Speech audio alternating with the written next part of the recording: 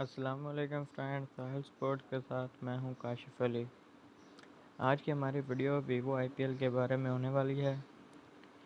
के के आर मुसलसल हार के बाद पॉइंट्स टेबल में आखिरी नंबर पर चली गई है, जिसकी बड़ी वजह आंड्रे रसल को सही नंबर पर बैटिंग न देना है।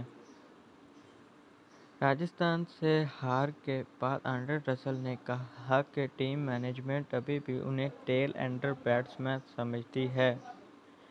उनका कहना था कि उन्हें राजस्थान के खिलाफ दसवें ओवर में आना चाहिए था, लेकिन टीम मैनेजमेंट ने आकर के पाँच ओवर में भेज दिया, जिसकी वजह से मैच हारे। और उनका कहना था कि किसी भी बैट्समैन के लिए आसान नहीं होता कि बातें ही पहली बॉल पर सिक्स लगा दे।